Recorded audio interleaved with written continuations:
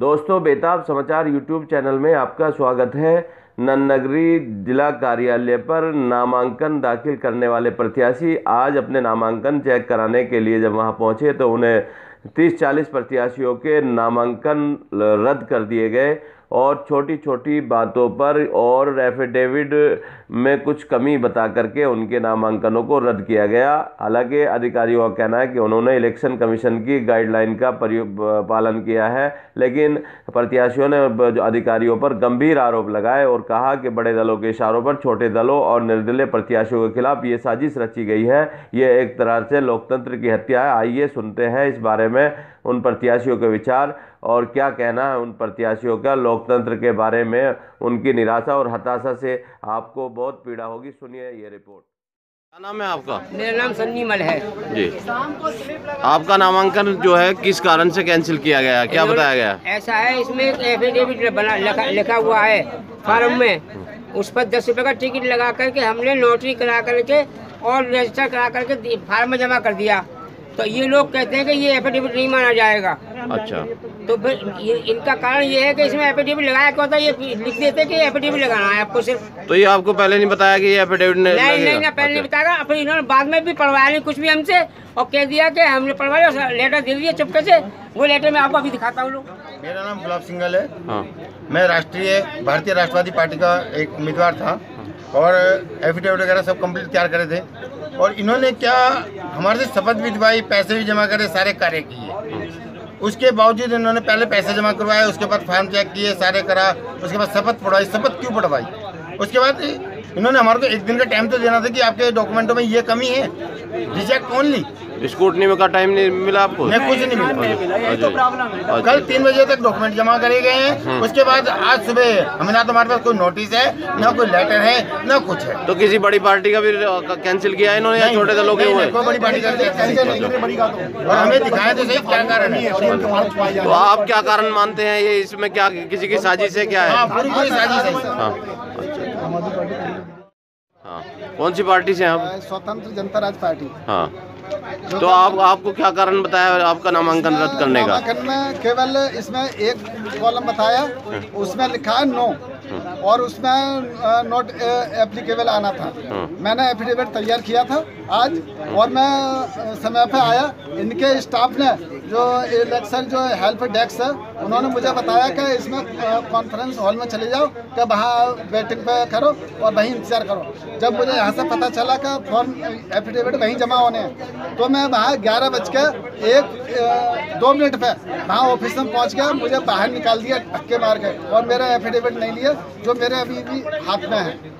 अगर इसकी CCTV camera की अगर रिकॉर्डिंग भी निकलवाई जाए जब भी उसमें मैं आ जाऊँगा कि कितने समय पे आया हूँ। ठीक और जब मैंने इसकी बात मैडम से ऑब्जेक्शन लिया तो मैडम ने इस पर कुछ नहीं बोला। बोले क्या बस कर रिजेक्ट मेरा नाम राधाकांत है। राष्ट्र निर्माण पार्टी से हूँ। और मेरा जो फार्म है बिल्कुल ओके था।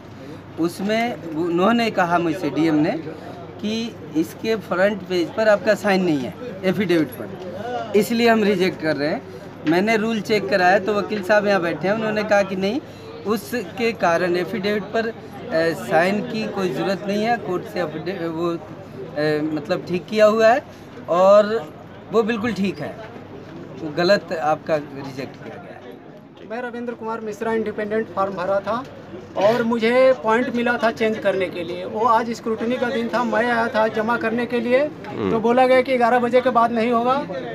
बोला गया कि इस कॉन्फ्रेंस हॉल में जाओ वहाँ पे बता दिया जाएगा। यहाँ पे मुझे बताया गया कि तुम्हारा फॉर्म रिजेक्ट हो गया। मुझे आज तक आज का टाइम मिलना चाहिए था अपना करेक्शन जमा करने के लिए।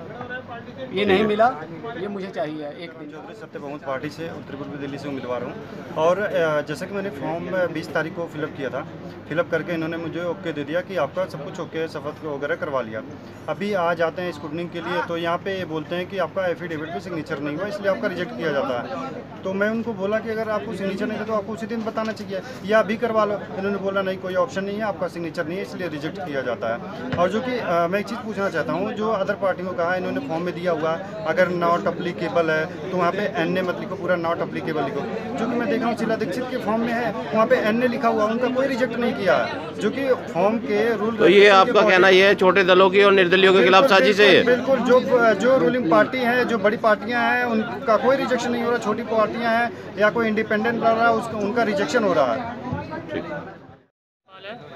मैं भारतीय स्वतंत्र क्रांति पार्टी से यहाँ पे नामांकन किया था। उस दिन जब हम नामांकन करने आए थे तो हमारा फॉर्म लेके ओके कर दिया गया था। हमारे से शपथ भी पढ़वाई गई थी। लेकिन हमें ये नहीं बताया गया था कि आपको कल आना है या आपको पेपर जो भी कम हो, आपको वो करना है। आज जब हम आए तो आप कह दिया कि सर्टिफिकेट इशू है और आपको रिजेक्ट किया जाता है। ये हमारे साथ अन्याय है। और यहाँ पर कम से कम पैंतीस चालीस लोगों का रिजेक्ट किया है। पार्टी से और छोटे छोटी पार्टी और निर्दलीय उम्मीदवार के साथ साजिश के तहत इनका नामांकन रद्द किया गया। मैं खुद प्रत्याशी हूँ, विजय कुमार झा, उत्तर पूर्वी दिल्ली से। मेरे फ़ाइल में कहीं कोई कमी, कोई दिक्कत नहीं है। जैसा जैसा कहा था, उस हिसाब से भरा हुआ टोटल चीज़ कंप्लीट है। उसके बाद मेरी फ़ाइल चेक की गई। चेक करने के बाद मे, मेरा बाउंड जमा किया गया शपथ ग्रहण करवाया गया सब कुछ ओके करके मुझे भेजा गया। और आज कहते हैं कि आपका खुद रिप्रेजेंट किया। यदि रिप्रेजेंट किया है तो यदि उसके लिए भी जब मुझे समय देते एक मिनट भी तो एक मिनट भी समय नहीं दिया। कि रिप्रेजेंट में उन्होंने दस का रखा था मैंने तेरह दे रखे हैं तेरह। तीन एक्स्ट्रा फिर भी हैं उसके बावजूद मेरा रिजेक्ट क्यों हुआ? मेरे फ़ाइल में कहीं कोई कमी नहीं है। आप इसके खिलाफ क्या करेंगे? अब क्या करेंगे? हम इसके खिलाफ कोर्ट जाएँगे चुनाव आयोग में कंप्लेंट करेंगे धरना प्रदर्शन करेंगे चाहे भूख हड़ताल करना पड़े तो हम भूख हड़ताल करेंगे, पर हम नहीं करेंगे। और इलेक्शन का बहिष्कार हो, क्योंकि बड़ी पार्टियों की साजिश है। बीजेपी के कैंडिडेट के अंदर, तिवारी जी के अंदर फ़ाइल में कमी थी। दो वकीलों ने ऑब्जेक्शन उठाया है। उसको भी उन्होंने सेलेक्ट किया ओके किया। तो ओके है, आप लोग कोर्ट जाइए। पर हम लोगों का ओके फ़ाइल को रिजेक्ट किया इन लोगों ने। आम आदमी पार्टी से पांडे जी आए थे, सबका उन्होंने ओके किया। शीला दीक्षित की फ़ाइल में दिखते हैं। उनमें से किसी भी कट नहीं किया इन्होंने। सबको ओके किया, पर हम छोटे छोटे पार्टी छोटे छोटे दल, निर्दलियों के साथ बहुत बड़ी साजिश हो रही है। और साजिश के तहत हम लोगों को मारा जा रहा है, बिठाया जा रहा है। हमारी हत्या कर दी गई। हम भले जंग के मैदान में एक दूसरे से लड़ लेते, संघर्ष कर लेते, पर यहाँ तो सीधा सीधा हमारी हत्या कर दी गई, हमारा खून कर दिया गया। हमारी खून यादव जी, जिस तरह से तीस चालीस लोगों का जो नामांकन रद्द हुआ है, आप एडवोकेट हैं तो आपको क्या लगता है क्या ये मतलब सही रीज़न है या ये कानूनन जो मतलब प्रक्रिया है चुनाव की उसके अनुरूप नहीं है? देखें पहले तो मुझे ये बहुत अफसोस है कि इतने लोगों के नामांकन कैंसिल हुए इसमें स्क्रूटनिंग के लिए समय दिया जाता है। और स्क्रूटनिंग का मतलब है जिनकी जो कमियाँ हैं वो पूरी करा के फार्म जमा करा जाए और ऐसा ना हो कि यहाँ पे सीधे रिजेक्ट करना मेरे विचार से। तो ये स्कूटनी का जो टाइम पहले से दिया जाता रहा है तो ये अब इस बार क्या रूल बदला है चुनाव आयोग ने? नहीं, नहीं, या या मतलब ये अधिकारियों की तानाशाही है? यहाँ पे ऐसा हुआ है कि अंदर जो फार्म थे हाँ। वहाँ पे कैदियों के या किसी पे नोटिस दिया तो जिनके नोटिस दिए, उनका ना जमा किया तो तो गलत है। वो प्रत्याशी की कमी है, लेकिन जिनको ये कहा गया कि हाँ ये सही है, उसके बावजूद भी उनका रिजेक्ट किया गया तो वहाँ तो बहुत ही गलत हुआ है। और मेरे हिसाब से ये दिमाग का एग्ज़ाम नहीं है ये तो जनता को आदेश करना था फार्म की कमियाँ दुरुस्त करने के लिए स्क्रूटनिंग का टाइम दिया गया है। और यहाँ तक कि ये भी है कि एफिडेविट में जो कमियाँ उन्हें दुरुस्त कराई जाए जो लॉ की बुक है चुनाव आयोग की उसमें क्लियर है कि कहीं भी कोई त्रुटि उसे पूरी कराई जाए। जब कोई इनकार कर रहा हो हाँ तब रिजेक्ट कर हो तो ठीक है। थैंक यू चंगे जी साहब जो आज आपका जो नामांकन रद्द हुआ है आप इसमें क्या कमी थी ऐसी जिसके कारण ये रद्द साजिश है जी। हाँ। इनकी आम, आम आदमी पार्टी की और कांग्रेस की। संजीव कुमार। तो आपके कैसे क्या दुश्मनी आम आदमी को और कांग्रेस को? सारा वोट हमारा था उन्होंने सोचा इसी को बाहर करवा दो वोट हमें मिल जाएगा और क्या? नहीं तो इस तरह तो लोकतंत्र में तो सभी को अधिकार तो होता है। है। हाँ। हमारे साथ तो जुल्म हो रहा है। उन्हें पता है कैंडिडेट खड़ा है सारा वोट एक तरफा हो जाएगा ये जीत जाएगा इसलिए उन्होंने सीधा कैंसिल करवा दो। नहीं आपके नामांकन में कमी क्या बताई गई है? कुछ भी कमी नहीं है जी। वहाँ नील लिखना था वहाँ नहीं लिख दिया हमने बस ये करा। अच्छा। और कोई कमी नहीं है छोटी सी कमी है। स्कूटनी में जो टाइम दिया जाता है वो नहीं दिया गया आपको? बिल्कुल भी नहीं जी। मैं तो पता ही नहीं चला मैं ना फ़ोन आया ना बताया हमें। अब क्या करेंगे आप? क्या कर सकते हैं? हाँ। बैठे ठीक। वकील साहब जो इतने लोगों का नामांकन रद्द हुआ है इस बारे में आपका क्या कहना है? टेक्निकली ये क्या उचित है या आ, मतलब कुछ इसमें कुछ इस तरह की बात है कि जो मतलब कानून सही नहीं है?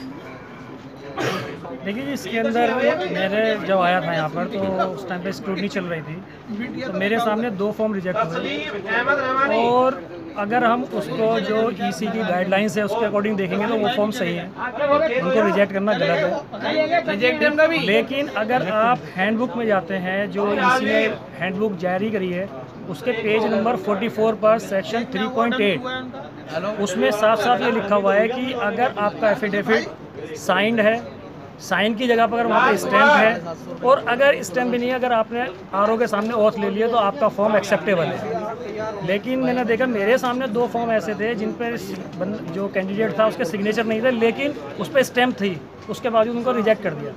तो मेरी समझ से पर है कि मतलब हम ईसी की जो बुक्स है, उसके अकॉर्डिंग चलें या जो यहाँ के आर साहब ने अपने रूल बना रखे हैं उसके अकॉर्डिंग चले तो ये तो मैं कह नहीं सकता कुछ भी। बट ये है कि बिल्कुल अगर हम क्योंकि इसी गाइडलाइन से चलेंगे तो उनका फॉर्म बिल्कुल सही था। और कोई भी जितने भी लोग हैं वो जाकर देखें इसी की जो हैंडबुक है उसके पेज नंबर 44, 62, 63, 64, 65 इन पॉइंट पे आप जाकर देख लीजिए आपका सारा कंसेप्ट क्लियर हो जाएगा कि आपका फॉर्म गलत रिजेक्ट हुआ है या सही तरीके से रिजेक्ट हुआ है। बहुत बहुत कारण नहीं हम पूछ रहे। हमने अगर आपको डेफिशिएंसी मीमो दी है तो उसमें साफ़ साफ़ लिखा हुआ है कि इस इस कॉलम की वजह से आपका रिजेक्ट किया जा रहा है।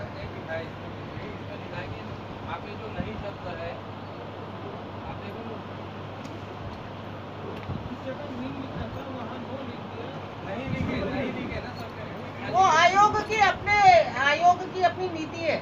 आयोग की जो नीति, नहीं, गलत और सही की बात नहीं है। बात ये कि जो चुनाव आयोग जो कह रहे है नहीं नहीं, हम किसी को फॉलो नहीं कर रहे। ना मैं चांदनी चौक को फॉलो कर रही हूँ, ना किसी कलकत्ता को और इधर मथुरा को फॉलो कर रही हूँ। मैं फॉलो कर रही हूँ ईसीआई की डायरेक्शन हम किस, ये नहीं कह सकते कि अगर यहाँ पास हो गया तो मेरे को वो, वही पास करना है।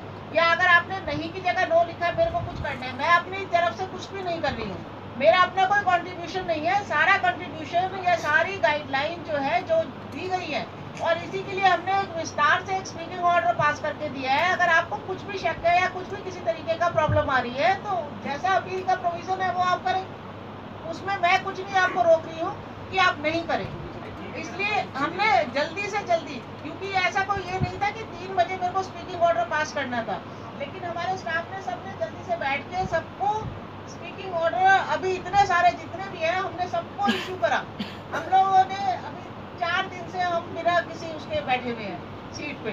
और हमने, आपने इतना हंगामा मचा दिया, इस वजह से हमने इमीडिएटली किया, नहीं तो ये कल भी होते, चार दिन में भी होते। किसी भी जगह कोई भी दूसरी उसमें जाके देख ले कि आज स्पीकिंग ऑर्डर कहीं पास नहीं हुआ। तो हमने इसी वजह से, क्योंकि हंगामेबाजी ना हो जैनविन हो। नहीं, मैं पढ़ रही हूँ, लेकिन जो गाइडलाइन है, मैं किसी को फॉलो नहीं कर रही। मैं चांदनी चौक को फॉलो नहीं कर रही हूँ। मैं ईसीआई की गाइडलाइन फॉलो कर रही हूँ। नहीं नहीं, मैं एक तो आपको गाइड नहीं कर रही हूँ, मैं आपकी कोई एडवोकेट नहीं हूँ। नहीं नहीं नहीं, मेरे पास आप देख सकते हो कि क्या सिस्टम था, किस हिसाब से हुआ है। मेरे पास तो फ़ाइल आई है लास्ट में, और मेरा जो स्टाफ बैठा हुआ है, वो डिफरेंट ड्यूटी कर रहा है। वो कोई गाइडेंस की हमने वहाँ पे नहीं लगाया हुआ। हमने जो हेल्प डेस्क खोला हुआ है, वो जस्ट नॉमिनेशन फॉर्म्स या जो फॉर्म की जानकारी है, सिर्फ़ वो देने के लिए। कैसे भरना है, क्या करना है, वो सब आप